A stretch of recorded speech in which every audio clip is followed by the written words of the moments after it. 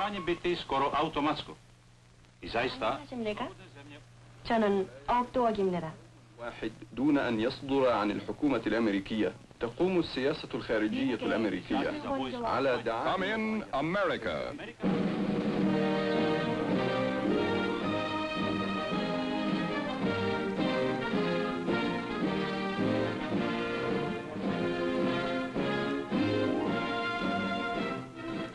To the professional newsmen who labor to tell to a searching, troubled world the history of our day, there is no more impressive reminder of the true strength of freedom than this, a presidential press conference.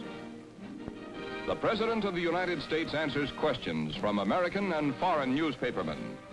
The answers are freely given to the representative of a great city daily or to a man from a much smaller paper.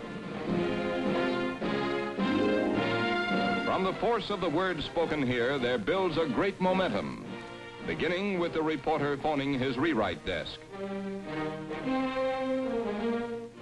And in this driving urgency to tell the world the truth about America, there is no organization with so many ways of sending it in so many languages to so many places as the United States Information Agency.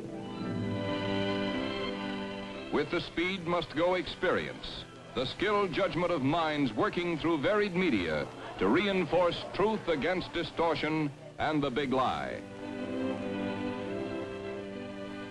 Guiding this organization is its director, Theodore C. Streibert.